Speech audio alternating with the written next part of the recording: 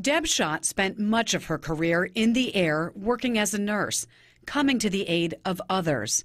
This is her husband Gary's favorite picture. Well, she loved her job for North Air, and she also works at Waconia Emergency Room, so she's been a nurse for many years. He said she was good at it, comforting and kind.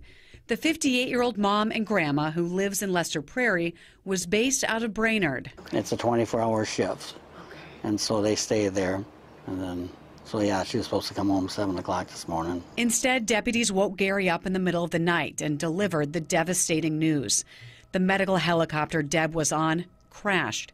She and the pilot died. A third rushed to the hospital. It won't hit me till a few days down the road.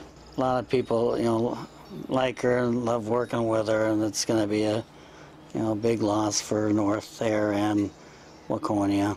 Gary says he'll miss their common interests and their travels, and said he doesn't know how the family will go on without her. Yeah, they're in shock. They're gonna just gonna be very sad without her. Jennifer Mayerle, WCCO 4 News.